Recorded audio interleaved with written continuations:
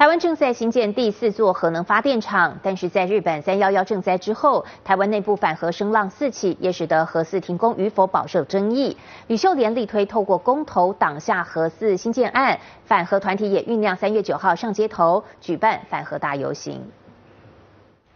桌面上摆满四万份连署书，由吕秀莲推动的新北市反核四电厂新建公投连署，突破提案所需的一万六千份门槛。成功达到反核第一步骤，吕秀莲并计划亲自和台湾领导人马英九沟通核电厂新建事宜，亲自写给现任的总统，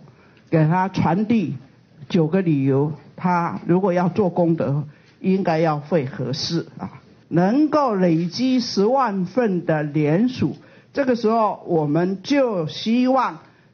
马英九总统要亲自面对十万的民意。由于新北市拥有三座核电厂，是全世界核电厂密度最高的区域。身为新北市民的吕秀莲，以推动新北市反核四公投作为反核行动实践。民进党也在立法院推动法案配合。第一啊，那么它是一个拼装车